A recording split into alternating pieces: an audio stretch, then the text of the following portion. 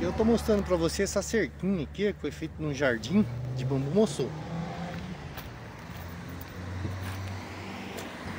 Aí, ó. Ela fica bem feia. Aonde não pegou sol ali, ela tá até melhor.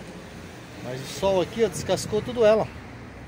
Ela foi passada só uma vez ou duas, o stem. Acho que agora já vai fazer quatro anos. Olha a situação que ela ficou aí, ó.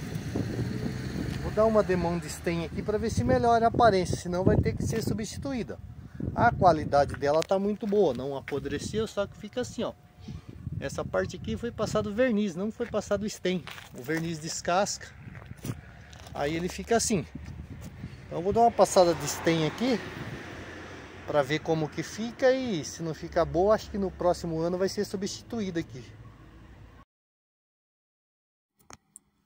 Aí, ó, quando você vai pintar o bambu, se a qualidade da ripa ainda estiver boa, não estiver podre, nesse caso aqui ele foi pintado a primeira vez com verniz marítimo. Não, não sabia que teria que ser o stem. Então, se você vê que tem necessidade de fazer uma reforma, aí você usa o cerejeira ou o mogno, que ele vai encobrir, vai ficar marronzinho, vai ficar bonito. Então, esse aqui eu estou passando um stem incolor natural, ele é um amarelo bem clarinho. O ideal é que eu vou dar duas demãos para ver, é, para deixar uma aparência melhor. Então, é, vou dar essa demão aqui agora e assim que secar, amanhã vou dar uma segunda demão.